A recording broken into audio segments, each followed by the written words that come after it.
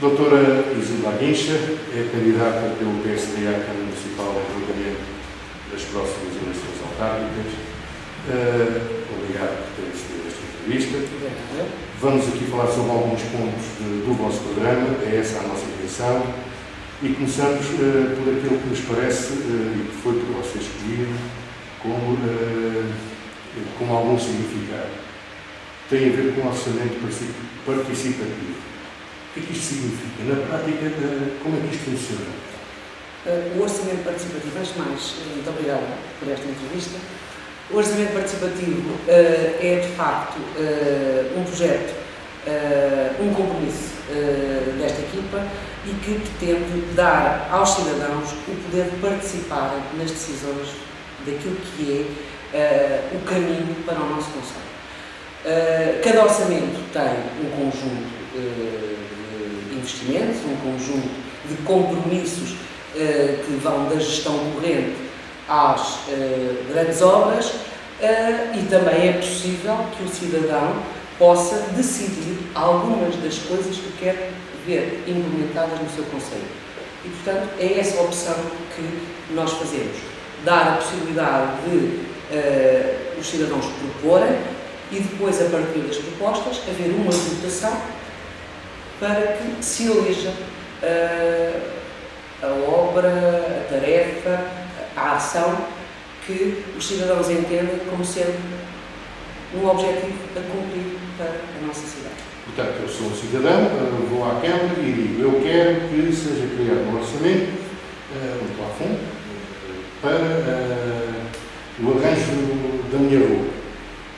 Mais ou menos isto? Uh, pode passar por aí, obviamente depois teremos de, face às várias uh, sugestões que surjam, e para isso será dado um tempo, será feita a divulgação, portanto haverá aqui um conjunto de passos a cumprir uh, e depois as pessoas terão a possibilidade de votar, e estamos a falar de todos os municípios do entroncamento, para se chegar a uma decisão face àquilo que é a nossa realidade. Mas um referendo? Uh, não será um referendo, será uma possibilidade de participação cívica através de ferramentas online, a priori, uh, porque também temos de pensar que temos de agilizar uh, os processos e, portanto, não podemos, para realizar um orçamento, o nosso orçamento, não podemos criar aqui uma quantidade de dificuldades que tornem impraticável este nosso objetivo.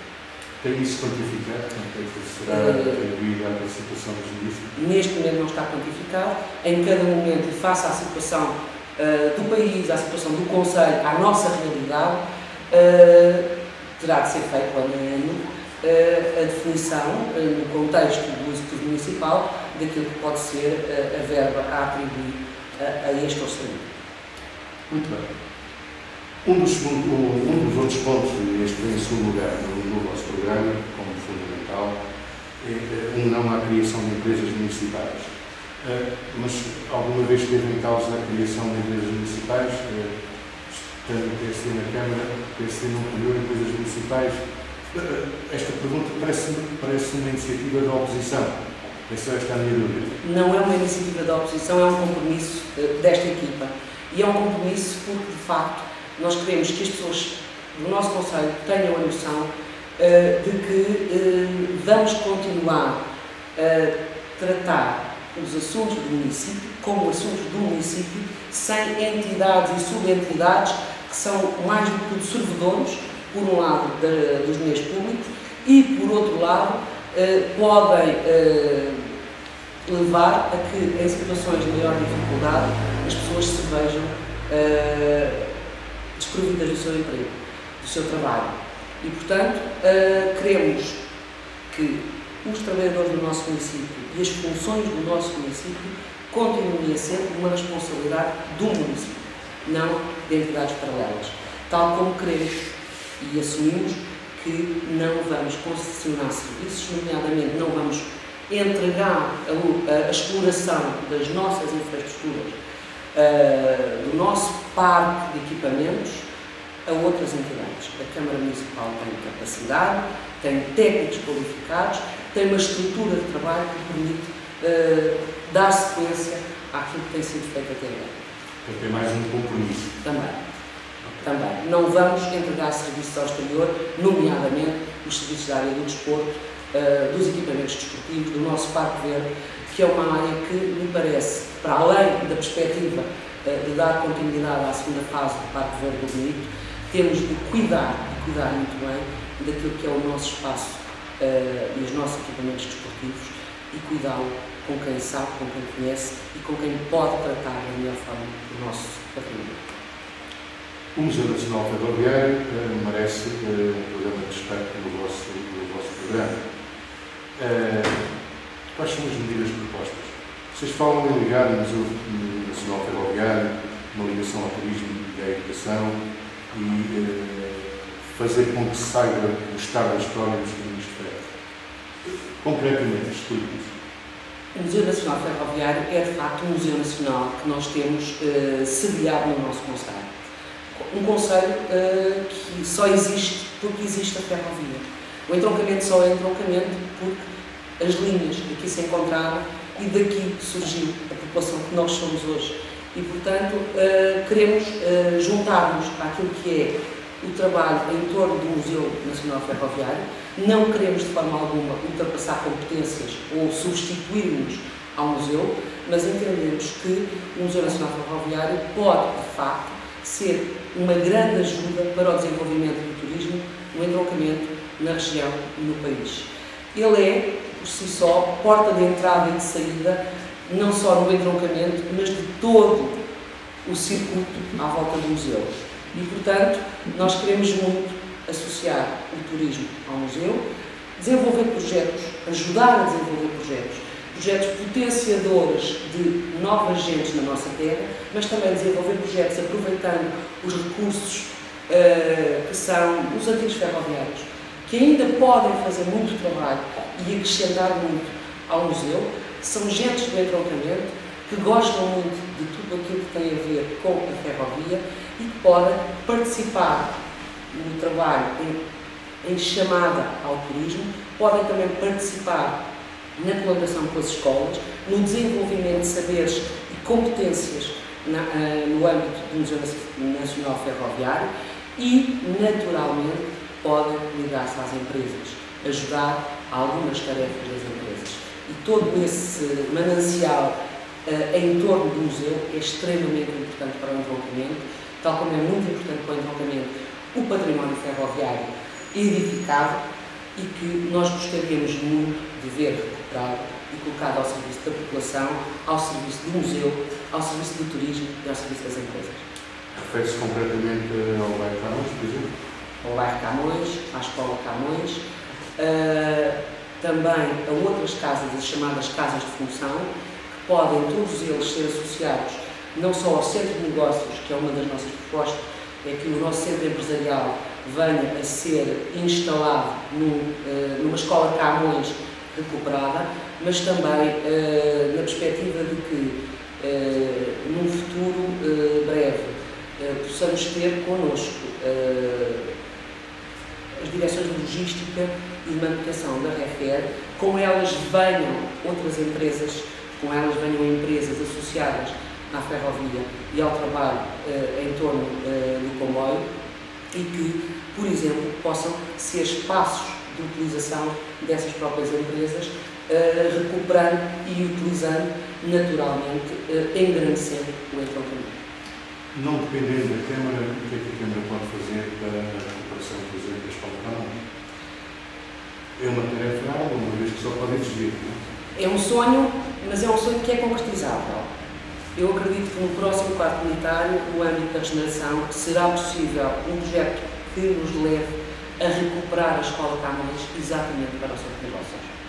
A Câmara tem mantido a uma renda muito controlada, um custo muito baixo, uh, o arrendamento uh, da Escola Camões, não tem havido a capacidade uh, de utilizar força Estado em que está, mas há de facto a possibilidade de, da Escola Camões fazer ou com a Escola Camões, fazer um projeto para a cidade e para a região. E um projeto que associe a parte empresarial e a ligação da parte empresarial também à ferrovia. Continuando na área ferroviária, uh, temos a estação ferroviária. que é também uma das preocupações do nosso programa. Também aqui não depende da Câmara Municipal. O que é que a Câmara pode fazer e o que é que o PSD propõe a reivindicar junto das entidades competentes? Efetivamente, não depende da Câmara Municipal, Uh, mas uh, a Câmara Municipal, ao longo do tempo, tem procurado não só uh, olhar a estação enquanto espaço que tem de ser renovado, que tem de ser adaptado ao tempo que vivemos, mas também tem tido uma grande preocupação no que respeita à segurança das pessoas. Posso referir que no dia 4 de setembro foi adjudicada a obra da passagem superior uh, que há tanto era desejada, uh, no sentido uh, da salvaguarda da segurança das pessoas e que essa obra, depois de adjudicada pela REFER, que não é a responsabilidade da Câmara Municipal, como, diz, como foi referido, mas que essa obra, em princípio, estará, segundo o caderno de mercados, pronta até ao final do ano. Tem sido uma preocupação muito grande do Executivo Municipal, da nossa Câmara, e também Uh, no âmbito destas mesmas dinâmicas, uh, há a possibilidade de, junto da RFE, fazer o tal, o tal forcing, fazer o tal forcing, uh, porque só com o apoio para além do município e, RFE tem a possibilidade, eventualmente, de se candidatar no âmbito do, do, do próximo quadro comunitário a fundos comunitários para a recuperação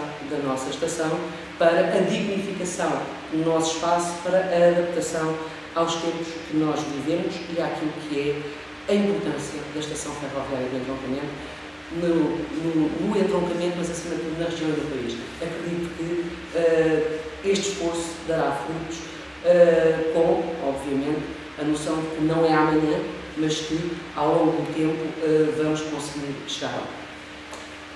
Vamos passar para outro ponto, uh, vamos passar para a educação, também um ponto uh, normalmente do PSD.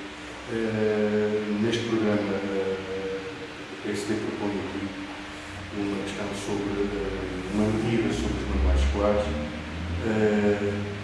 Como é que isto funciona? Mais uma vez, pergunto que é fundamental explique nossos... Há duas uh, medidas uh, relativamente a manuais escolares. Uh, uma delas que já existe, que é o Banco de Manuais Escolares, e, portanto, é um banco de trocas em que se entrega o manual utilizado que está em condições de ser utilizado e esse Banco de Manuais Escolares é para continuar e incentivar, porque é também uma forma de ajudar as famílias a não terem custos tão elevados no seu orçamento.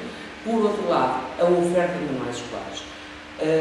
é possível como, se, como deve calcular, uh, fazermos a oferta de manuais escolares.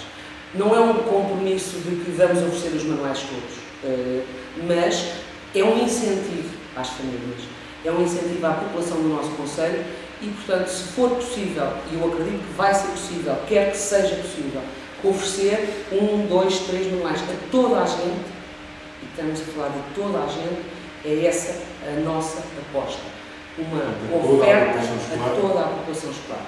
Não a oferta direcionada para a OPA e OPC, mas uh, é uma forma de incentivar uh, também e ajudar uh, as famílias num momento extremamente difícil e que nós reconhecemos, identificamos e reconhecemos e a população do acampamento merece isso. Muito bem. Ainda, ainda dentro da, da, mesma área, o PSD propõe a criação do Fundo de Emergência Fundo de Emergência Social, Social, mais específico para as famílias em dificuldades. Aqui não será, aqui será criada uma base de dados, necessariamente uh, das pessoas. Não necessariamente uma base de dados, até porque criar bases de dados significa outras coisas, significa proteção de dados pessoais, significa cumprir um conjunto de regras uh, que não está propriamente na, no foro da Câmara Municipal. A Câmara Municipal até agora tem tido a capacidade de, conjuntamente com as juntas de freguesia de Nossa Senhora de Fátima e de São João Batista, com a Conferência de São Vicente Paulo de Nossa Senhora de Fátima, com a Caritas Paroquial São João Batista e com a Água Social, ajudar as famílias em dificuldade. Tem tido essa capacidade, mas sabemos que a cada momento há situações que surgem e que é difícil acorrer a todas. E, portanto, o que nós pretendemos é que haja uma pequena fatia de verba disponível para que as tais emergências não controláveis, mas que de facto uh, afetam muito a vida das pessoas, duas pessoas que de repente ficam sem, sem emprego, um casal que de repente fica sem emprego, que tem filhos a estudar, que não tem recursos e que precisa de uma ajuda imediata e que as, as instituições não conseguem ajudar no, no âmbito da sua uh, ajuda de todo o mês, então a Câmara terá a possibilidade de acorrer a essas situações especiais. Portanto, não é suposto ser uh, um fundo para estar permanentemente a alimentar as mesmas situações. Será uma questão mesmo de apoio de emergência, apoio imediato a situações particularmente difíceis. Porque o apoio, uh, digamos, permanente e habitual acontece já com estas instituições que eu já referi e que têm tido um, um trabalho excepcional no entroncamento. Toda a gente reconhece, nomeadamente uh, os órgãos da Segurança Social, é importante referir. Somos dados como exemplo ao nível do trabalho social uh, na região, uh, e isso é importante dizer, e queremos continuar assim.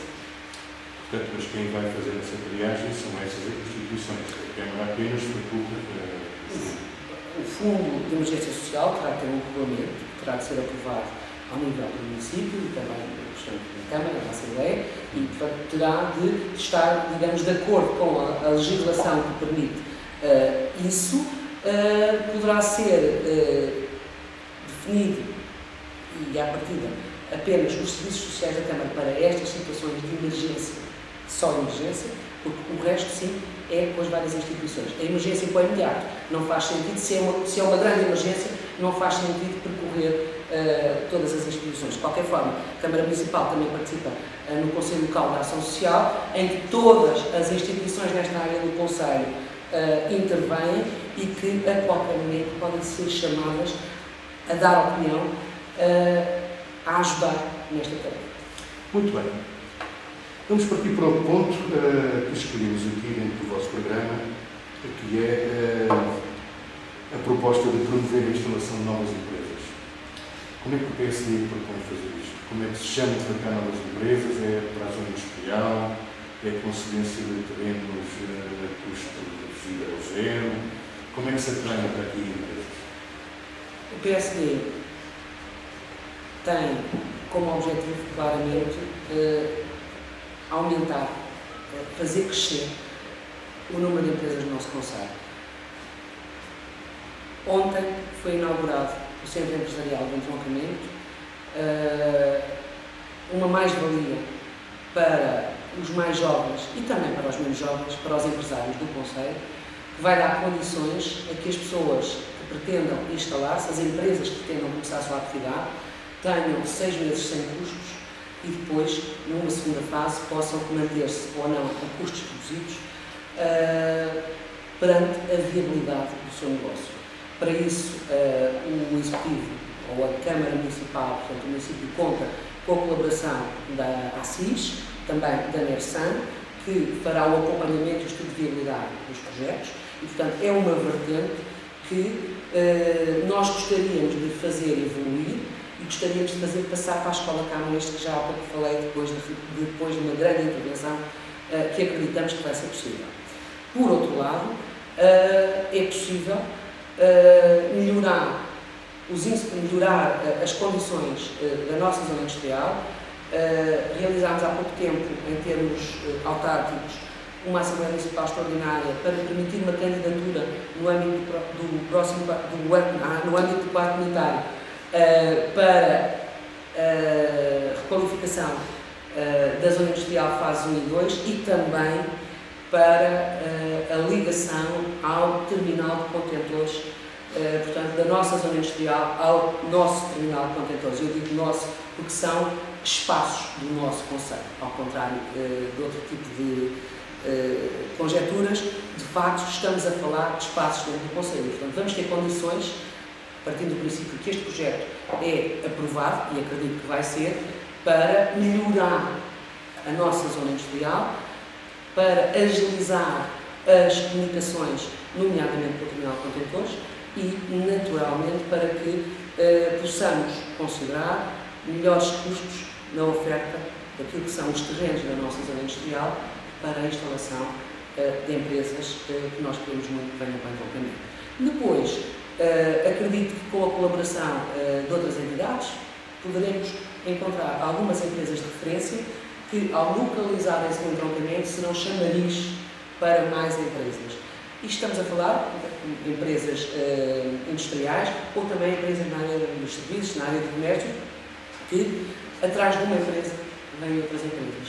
Queremos encontrar essa uma ou essas duas, há algumas coisas no ar, mas pronto, depois serão concretizadas uh, perante a viabilidade e isso uh, é para depois.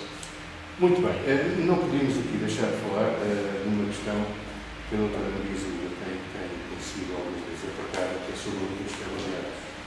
Façamos muito resumidamente, talvez, vamos temos mais 10 minutos, uh, qual o ponto da situação?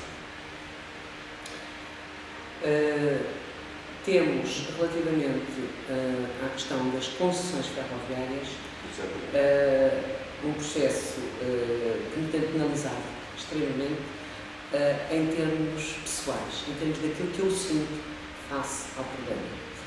De facto, eu sou nascida ali ao lado, mas porque não havia maternidade no entroncamento na altura, e portanto vivi toda a minha vida no entroncamento Conheço, desde que sou gente, imensas pessoas uh, do mundo ferroviário, da família ferroviária, e tenho noção de que as concessões são uma compensação do trabalho. Isto é, os acordos da empresa, em vez de darem dinheiro, davam uma parte da retribuição do trabalho através da concessão de transporte uh, gratuito ou com descontos a ferroviários e famílias.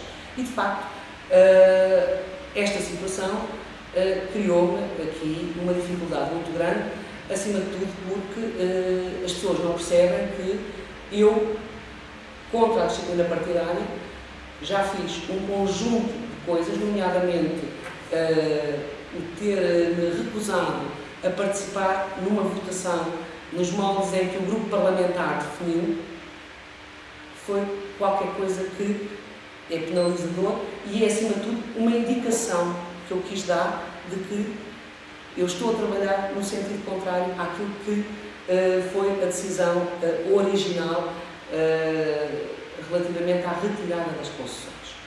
Acredito, acredito, por alguma razão, consegui fazer entrar um projeto de resolução apenas do grupo parlamentar do PSD, foi um trabalho que teve algumas versões, mas foi uma versão apenas do grupo parlamentar do PSD que entrou e acredito que vamos voltar a ter concessões. Tenho trabalhado nesse sentido, quero muito que isso aconteça, não só porque quero, mas acima de tudo porque acho que é importante para agentes do nosso Conselho. Quando eu digo isto, digo especialmente em relação aos reformados, em relação aos pensionistas. Os ferroviários que estão no ativo uh, continuam a ter o seu passo de trabalho, todas as outras pessoas deixaram de ter passos.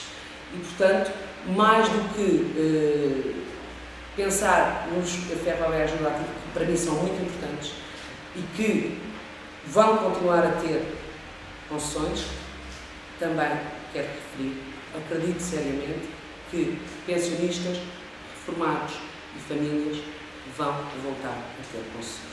É, digamos, a devolução, uh, é o afirmar uh, ou reafirmar daquilo que as pessoas uh, dizem, que é o retomar de um direito adquirido ao longo de muitos anos de trabalho e que, na minha perspectiva, faz todo o sentido, porque é o dar uh, cumprimento a uma obrigação uh, que o Estado assumiu enquanto dono das empresas ferroviárias para com os seus trabalhadores. Muito bem, acho que já ficou claro. Vamos continuar na, na tem feito, uh, e muito rapidamente eu, eu, eu pedia que, que nos explicasse. Há um ponto do nosso programa que é uma proposta de trazer a BFE para o isto é possível?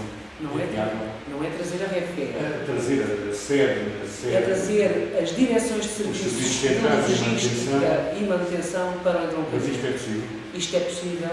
Uh, o espaço ferroviário tem condições para isso, temos eh, muita gente que poderá aproveitar positivamente a vinda desses serviços, quer trabalhadores que estão a trabalhar em Lisboa e podem vir para o entroncamento, quer os recursos físicos que o entroncamento tem e que podem ser postos ao serviço das empresas, quer a sua centralidade ao serviço do todo nacional. Quando pergunto se é possível, pergunto também se é viável. Se é possível e é viável. Se não fosse possível e viável, eu jamais poria isso no nosso programa.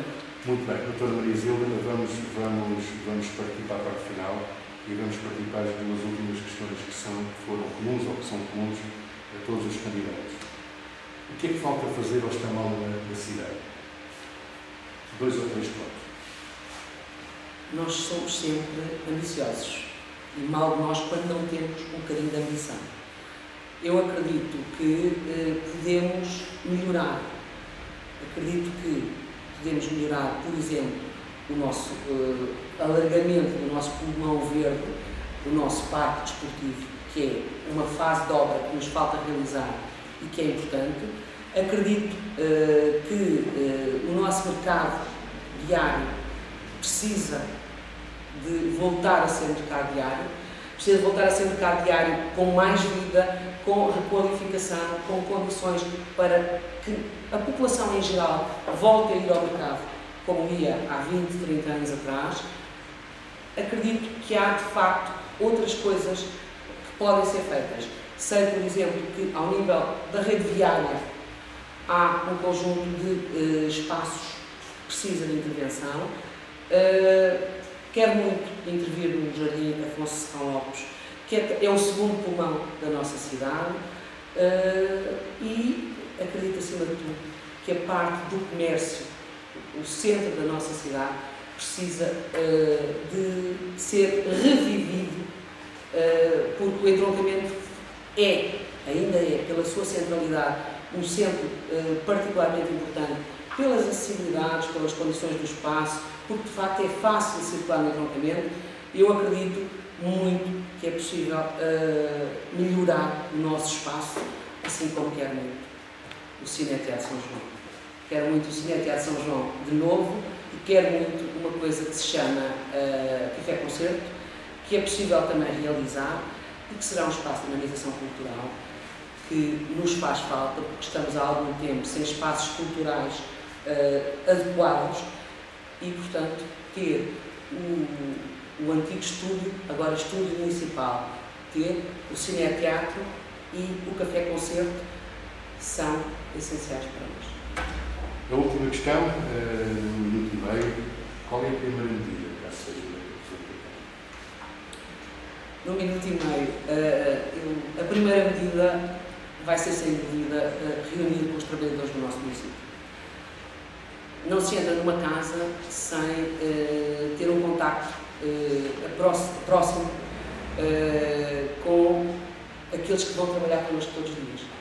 Não se entra numa casa sem perceber quais são as expectativas de quem lá está, quais são as dificuldades, o que é que podemos efetivamente fazer com quem no dia a dia ajuda a fazer o nosso conselho. Porque os trabalhadores do nosso município são essenciais. Estamos a falar uh, de três centenas de pessoas que uh, ajudam no passeio, ajudam nas infraestruturas, ajudam num conjunto grande uh, de bocadinhos do nosso dia a dia e que podem ou não ser, podem ou não, não, são essenciais, sem dúvida, para que vivamos melhor e nós queremos eh, viver cada vez melhor no entroncamento e, portanto, não podemos viver melhor ou cada vez melhor, porque eu acho que o entroncamento é melhor do que a generalidade dos conselhos que conheço.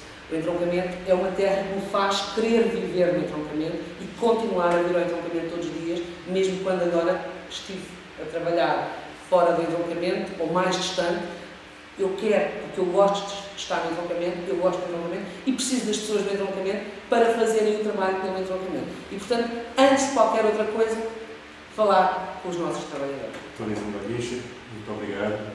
Desejo boa sorte. Muito obrigado e boa sorte também para o